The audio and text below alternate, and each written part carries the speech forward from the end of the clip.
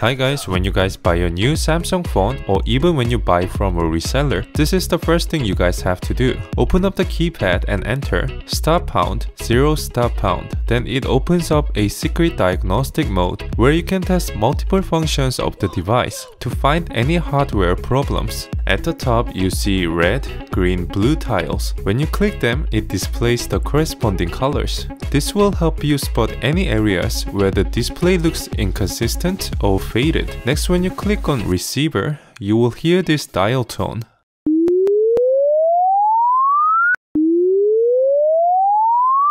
This lets you check if the audio is working properly without any disconnection. The same test can be done with the vibration. You can also test the device's main camera with MegaCam. If you take a photo, it will automatically save it to the device's gallery. There is one really interesting feature that many people may not know. When you click on the sensor, you will see all this complicated raw data. Click on the image test button on the top right side and you will see this cute chihuahua image.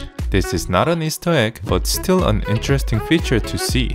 Lastly, when you click on the touch option, you will see big X marked boxes. This helps you to check if the screen is working properly. Trace every box and when you make all of them green, it will automatically go back to the menu. If you guys found this video helpful, please subscribe for more 1 minute videos.